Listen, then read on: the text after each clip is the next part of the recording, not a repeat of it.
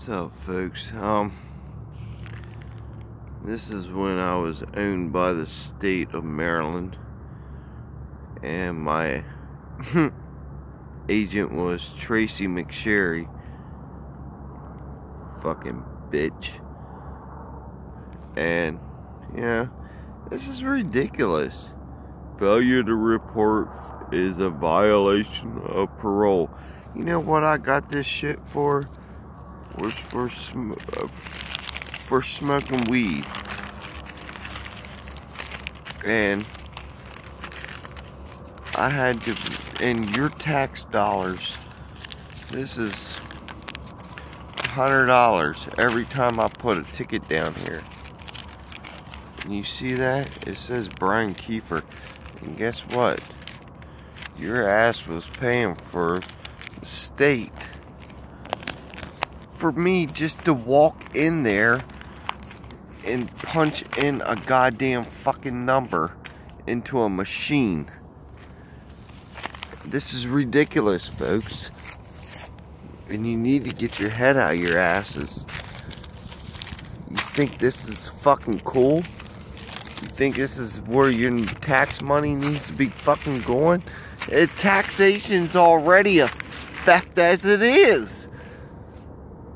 And then the cocksuckers want to do this? I mean, the fucking... This is what I... It's bullshit, folks.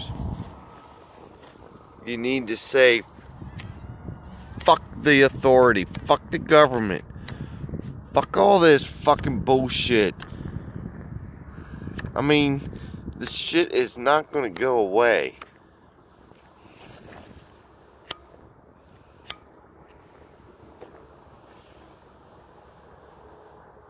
This is a police state.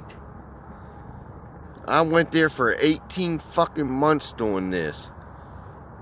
Just punching in a number to get a ticket where it fucking taxes you. It's ridiculous, folks, for smoking a goddamn plant. Smoking marijuana. Oh, but you, no, but you cocksuckers that want to fucking give me a bunch of cocksucking shit, but you take pills from the big pharmacy? You don't think them things are addictive? You people need to get a fucking life. I'm telling you, you sheep, you need to stay the fuck out of my way. Because I am done. This is, I'm telling you folks, you need to get your head out of your ass.